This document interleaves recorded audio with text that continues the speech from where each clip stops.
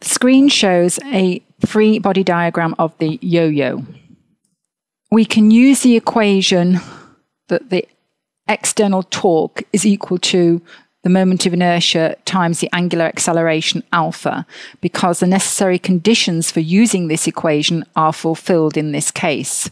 We have an axis through the center of mass, and it is an axis of symmetry, and the axis does not change direction. So we're okay to use this equation. Right, let's now first of all consider translational motion and write down the equation for translational motion. The resultant force in the y direction is just mg, the mass of the yo-yo, times the acceleration due to gravity, minus the tension in the string T. That resultant force is just equal to the mass of the yo-yo times the acceleration of its center of mass in the y direction. That's just a. The equation for the moment of inertia is just a half mr squared. And we can now write an equation for the rotational motion. So the torque is equal to the applied force, which in this case is T, times the perpendicular distance of the line of action, that force, from the axis of rotation, which is just r, the radius of the yo-yo. And this is equal to the moment of inertia of the yo-yo times its angular acceleration, alpha.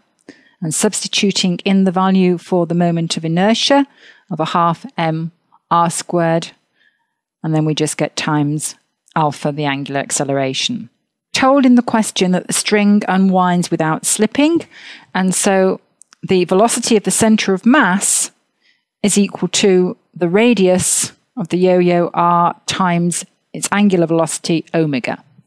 That is the condition for non-slip. Differentiating this equation with respect to time, we get dv cm by dt is just equal to r d omega by dt. So that means that the acceleration of the center of mass is just equal to the radius of the yo-yo r times the angular acceleration alpha. From equation 2, we know that the tension is equal to a half times the mass times the radius times the angular acceleration alpha.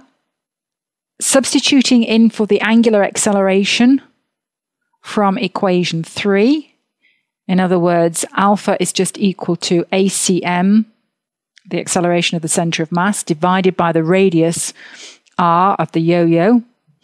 We will get that the tension is equal to a half times the mass times the acceleration of the center of mass of the yo-yo.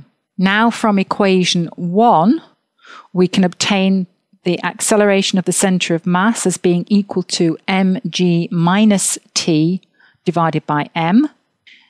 Rearranging that equation, we can get an expression for the tension in the string T, which is equal to a half m into mg minus t divided by m. And simplifying that, we just get that the tension is equal to mg over 3. Substituting for t in the equation for the acceleration of the center of mass, we get that the acceleration of the center of mass is equal to mg minus mg divided by 3 all over m. And again, simplifying that, it just comes down to 2 thirds g.